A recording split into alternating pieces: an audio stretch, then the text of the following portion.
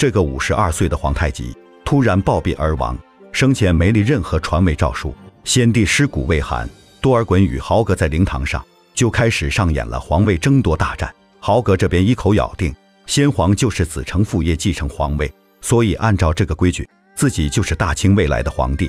可多尔衮这边却极力反对，理由就是无论是文韬武略还是政绩战功，多尔衮都比豪格强太多了。各大亲王旗主各执一词，瞬间双方为此吵得不可开交。眼看双方就要动手，这时李亲王代善站了出来，他大声呵斥住了这场战争，并让所有人都回去冷静一下，改日再做出第二次商议。而另一边的永福宫里，庄妃寝食难安，因为不管多尔衮与豪格谁做皇帝，他都是板上钉钉的殉葬人选。可他又不想死，于是请来了足智多谋的汉臣洪承畴，寻求救命之法。洪先生。我不怕死，是我不想死。如果我死了，那六岁的福临不就成了孤儿了吗？洪承畴在得知多尔衮对庄妃有爱慕之心后，让庄妃赶紧给多尔衮写封密信，千叮咛万嘱咐，信要写的悲伤又多情。多尔衮看了一定会帮助。庄妃心思聪颖，一点就通，将密信写在当初和多尔衮结缘的那条手帕上。果然，多尔衮一见帕子，瞬间有了心中的想法。次日议会上，豪格依然不同意多尔衮继承皇位，认为只有皇子才有这个权利。此时的多尔衮也赞同他的说法。然而接下来的做法却让所有人出乎意料。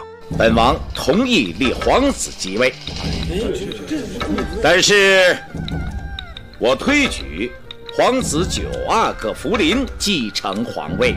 多尔衮建议九阿哥福临继承皇位，而他与正亲王吉尔哈朗则为左右摄政王。共同处理朝廷政务，等到福临十四岁后再临朝亲政。本王赞同睿亲王的建议，立皇九阿哥福临为大清皇帝。李亲王就第一个带头同意，其他人见状自然也没什么意见。大清危机四伏的王位更迭，最终以六岁的福临即位而落下帷幕，进而也避免了一场腥风血雨。几天后，多尔衮愈发大胆，一把抓住孝庄的手，而这位年轻的皇太后。也任由他牵着，因为福临能当上皇帝，多半都是他的功劳。而孝庄这位注定不平凡的女人，靠着一己之力辅佐皇太极，辅政顺治，培养康熙，成为了大清朝地位最尊崇、贡献最杰出的女人。明正，上朝。臣妾领旨。这是大明王朝最凄凉的时刻。李自成攻陷居庸关后，大明亡国近在眼前。这个关键时刻。崇祯皇帝既不调回拥有精兵强将的吴三桂，又不同意与大清媾和，更令人想不到的是，还不同意迁都。他想靠着锦衣卫御林军、太监以及京城百姓合力抵挡闯军。就凭他这一点人马，哪里挡得住李自成的百万大军？很快就打进了西直门，直奔紫禁城。朝中的大臣死的死，逃的逃。周皇后亲自撞响了上朝议事的钟声，而满朝文武却看不见一个人影，空荡荡的朝堂。让崇祯显得是那么的孤单无助。不多时，只见闻声赶来的陈圆圆与王承恩，这让周皇后颇为感动。没想到大明朝的危亡时刻，竟然还是有人不离不弃，与大明共存亡。王承恩建议崇祯与皇后换上百姓衣服，逃出皇宫，等待时机再召集明朝旧部，实现逆风翻盘。可倔强的崇祯与周皇后始终不愿放下仅剩的皇家尊严。朕不做丧下之犬，朕。与京城共存亡。随后，周皇后将外边的事情拜托给王公公。王承恩五位杂臣长叹一口气后，向崇祯与皇后深鞠一躬，郑重告别，带着仅剩下来的太监鲁四出去迎敌。而崇祯与周皇后则开始料理后事。不管怎么样，也要吃上一顿饱饭。然而，御膳房的人已经各自逃命，只能周皇后亲自下厨。陈圆圆在一旁唱着小曲。崇祯仿佛忘记了国破家亡的苦恼，与皇后公主开开心心地吃着最后一顿饭。吃完饭后，周皇后将三太子托付给陈圆圆，嘱咐他照顾好老朱家的最后香火。随后，崇祯皇帝拔出了天子剑，周皇后泪流雨下，心如刀绞，因为她知道这是他们生命的最后一刻。她心里不停地跟女儿道歉，为了不让女儿乐安被闯军糟蹋，母亲只能这样做了。她紧紧把女儿抱在怀里，好让她看不到。身后执剑而来的父亲，咱们三个上辈子再见吧。关键时刻，这位一国之君心软了，他并没有把手中的长剑劈下来，看着父皇凶神恶煞的模样，乐安公主吓得脑袋一阵空白，尖叫一声，直接扑进了母亲的怀抱。你为什么还不动手？不能让我们的孩子留给敌人手里！皇上！崇祯皇帝悄悄走到女儿的身后，高高举起长剑，准备将其杀死。可这位一国之君，最终还是心软了。皇上，你为什么还不动手？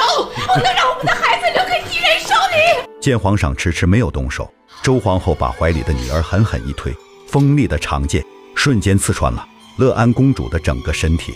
这位可怜的大明公主到死都不明白，为什么自己的父皇与母后非要杀了自己。看着痛不欲生的女儿，吓得崇祯瑟瑟发抖，连连后退。强烈的愧疚感让他没有勇气去面对自己的亲生骨肉。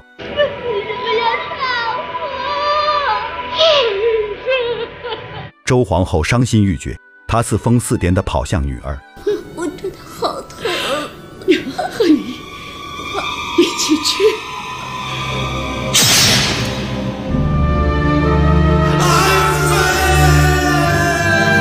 妻子与女儿双双死在自己的面前，真正的国破家亡，撕心裂肺的痛把崇祯折磨得死去活来，哀嚎声不断的回荡在皇宫中。就在此时，浑身是血的王承恩带着陈圆圆走了进来，劝朱由检赶紧逃命。而此时的崇祯正淡定自若地写着最后的遗书，心中再无牵挂。看到这个侍奉自己一辈子的王承恩，深深向他鞠了一个躬，感谢这位老太监的不离不弃。随后，他猛地站起来，让他帮自己做最后一件事。朕要，你给这一刀，我必能把朕刺穿。不，不不，皇上，朕杀不动自个儿啊！快，不，你下手啊！不，快呀！王承恩颤巍巍举起手中的大刀，陈圆圆吓得赶紧捂上了眼睛。可这个老太监却迟迟不忍心下手。而此时，闯军已经进入宫内，鲁四代人正拼命御敌。身为太监的鲁四，在这紧要关头带领手下殊死搏斗，这或许是他一生中最辉煌的时刻。在王承恩的掩护下，陈圆圆搀扶着朱由检，用尽力气拼命地跑到了眉山，直到筋疲力尽时，才瘫坐在地上。此时的他只有一个愿望，那就是在被人抓住之前一死了之，来维护大明皇帝最后的尊严。就在此时，朱由检看到了一棵歪脖子树，这一刻他仿佛意识到，这里才是他最终的归宿。于是径直地走向那棵树下，立即解下腰带打了一个绳套，一把推开了阻拦自己的陈圆圆。可精疲力尽的他根本无法把脖子伸进绳套里。